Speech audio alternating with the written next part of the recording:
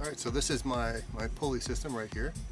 And the theory is that they don't, they won't crimp the cable in that corner that makes the square of those perpendicular angles. All right, so once I'm up here, there's a, what's called a thimble, all right, that, that floats itself through the eyelet of the eye bolt. And then the eye bolt obviously bolts into part of the frame that I bolted into the other part of the frame to make it nice and strong. There's really not a whole lot of weight that it's going to be holding up, but it's a good idea just to have some uh, greater standard of uh, just a, just a safety measure, just to make sure it's a little bit overpowered. I don't, I'd really have it, I'd really rather have it overpowered than not have enough power when, um, you know, there's like five people on the bed. You never know So to lock the cable in place, first I have to measure down about, I guess I'm going to do about four inches from the thimble just to make sure I have enough room for my cable clips. Now these are zinc plated cable clips. They're about 25 or something like that. You need at least two. You can get away with one, but I wouldn't trust it.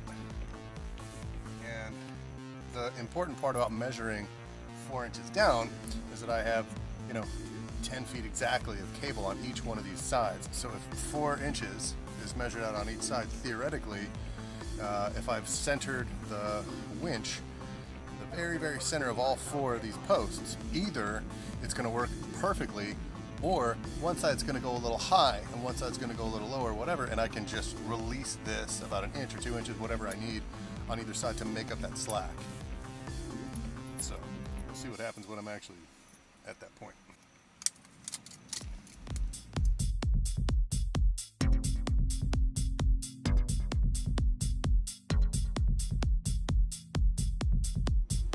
So this is actually my actual pulley system. These are the rollers that uh, keep the cables from rubbing.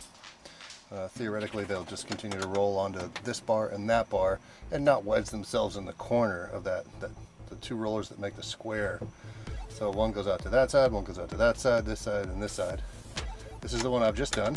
It's the closest to the uh, front driver's side. This is going to be the rear driver's side over there the rear passenger side and then obviously the front passenger side over there. So it's all hooked up except for a battery. I've got to take this cable right here, this is my switch. I'm gonna mount that on the, the front of the frame up this way. All right, so it's kind of the moment of truth. I was going to wait until I had better daylight, but I feel like I've gotten enough done that I can attempt to do what I gotta do here. Plus, I took out the half inch spacers on all, all sides, so uh, what I don't want is to um, have it tied up. I'll do a test run, so so if it goes up, I can I can then slide in the spacers, lock it into place, build in my my drop supports with the, with the, the barrel bolts to keep it all in place and everything, and then it'll be much safer. I'll feel a lot better about leaving it like that. And if it fails, then it'll fail tonight, and I'll have light tomorrow to kind of fix it and work on it. So I'll work that in as justification to uh, do what I got to do. So let's see if it works.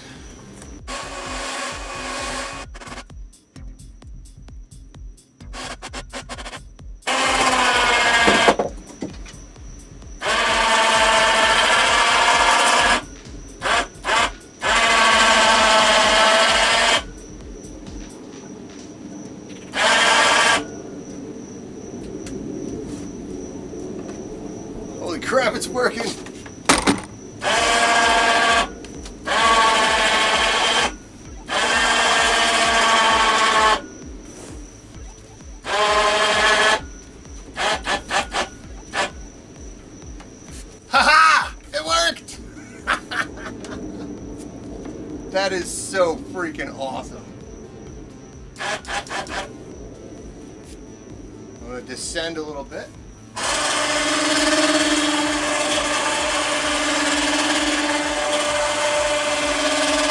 It looks like this uh, this side over here, the driver's side, is a little bit higher than the other side. So I'll probably tomorrow I'll get back in here and tighten the uh, the the line above the thimble.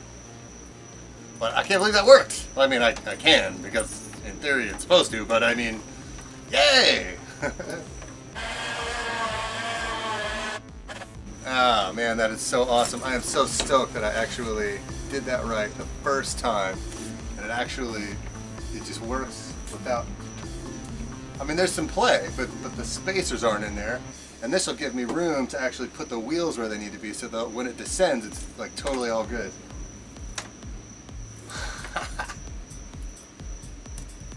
Works exactly like it's supposed to.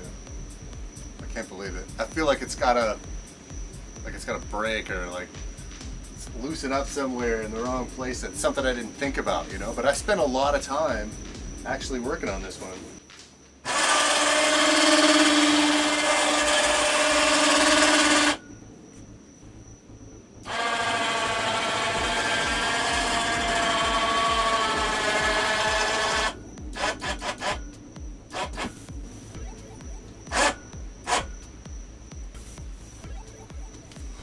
Oh my god, that is so sweet. All right, so I'm under I'm underneath it, and uh, all the cables come into this square roller section right here, just as it's supposed to. And I'm gonna let it down, and hopefully we can get some of the some of the rolling action um, in the frame. And I'm gonna duck below where the supports are, just in case this thing decides to change its mind. See, see if I can do that.